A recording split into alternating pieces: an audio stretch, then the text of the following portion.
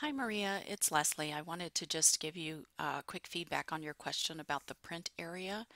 Um, basically, you can set your print area when you're looking at your worksheet here, but where you're really going to see it is when you're doing the print preview.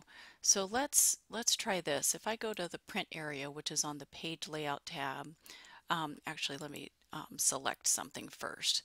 Let's say I just want to I want to um, just print the sales category is Monday, Tuesday, Wednesday. So I've selected that information.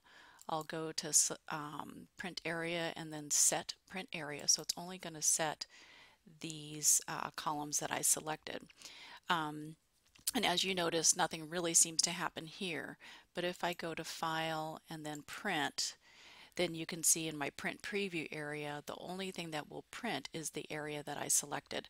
So when you're using the um, print area and you did yours correctly, um, again on the worksheet it really doesn't really look like anything happened but where you're going to see the result of the print area that you set will be here in the print preview area.